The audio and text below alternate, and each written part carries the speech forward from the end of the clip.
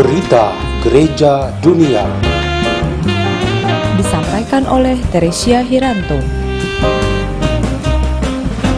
Kesukarelawanan dan gereja Katolik di Eropa adalah sebuah persekutuan yang sangat erat, khususnya pada zaman ini.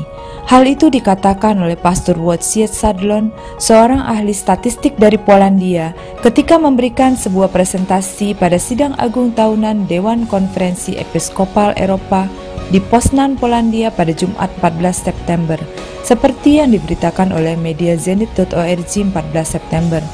Dalam pemaparannya, ia memperkirakan bahwa ada sekitar 100 juta orang dewasa yang terlibat dalam kegiatan sukarela atau volunteering di dalam benua Eropa. Ini berarti di dalam negara-negara Uni Eropa ada sekitar 22 hingga 23 persen orang berusia di atas 15 tahun terlibat dalam karya-karya sukarela.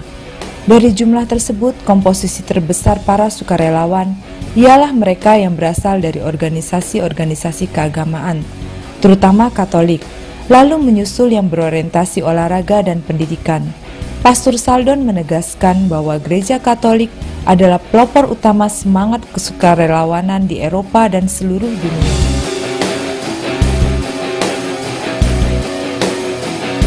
Sebuah referendum nasional dilakukan di negara Rumania baru-baru ini yang menghasilkan pilihan akan perkawinan yang legal secara hukum, yaitu antara satu pria dan satu wanita. Kehendak masyarakat itu didukung sepenuhnya oleh parlemen Rumania. Media Catholic News Agency pada Kamis 13 September mengabarkan bahwa referendum dari 20 juta seluruh penduduk telah mendorong sekitar 3 juta orang membubuhkan tanda tangannya yaitu kelompok sipil Rumania dari Koalisi untuk Keluarga untuk mempercepat penetapan hukumnya. Kemajuan ini menegaskan bahwa negara Rumania melarang perkawinan sejenis. Ini sangat berlawanan dengan sekitar 20 negara dalam Uni Eropa yang mengizinkan perkawinan sesama jenis kelamin. Gereja Ortodoks sebagai penganut agama terbesar di negeri itu dan didukung kalangan minoritas seperti Gereja Katolik Roma dan gereja-gereja Kristen Yunani sangat mendukung penetapan hukum ini.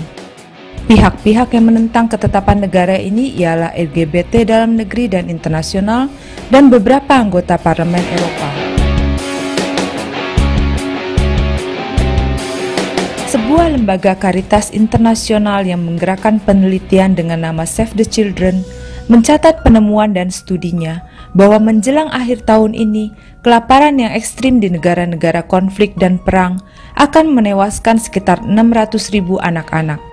Media Zenit.org pada hari Selasa 11 September menulis bahwa anak-anak tersebut adalah mereka yang tergolong usia di bawah lima tahun. Diperkirakan bahwa ada 1.600 anak-anak meninggal dunia setiap hari, atau satu anak meninggal setiap menit.